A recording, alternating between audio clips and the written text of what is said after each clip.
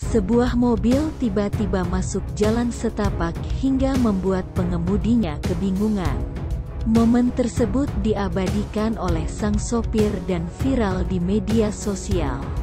Salah satu akun Instagram yang mengunggahnya adalah @terang_media. Dalam video tersebut, si sopir memperlihatkan jalanan layaknya di hutan. Hanya ada pepohonan dan rerumputan, namun terlihat jelas ukiran jalan setapak yang ada.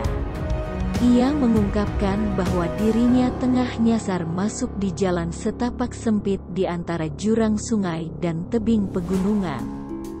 Disebutkan, hal ini terjadi di kawasan Kecamatan Sumowono, Kabupaten Semarang. Menurut informasi mobil tersebut terjebak masuk ke jalan sempit itu pada Jumat sekitar pukul 2 siang dan baru bisa keluar dari lokasi pada keesokan harinya yakni Sabtu sekitar pukul 1 pagi dikarenakan hujan. Diduga mobil paket Ninja Express ini salah jalan dikarenakan Google Maps.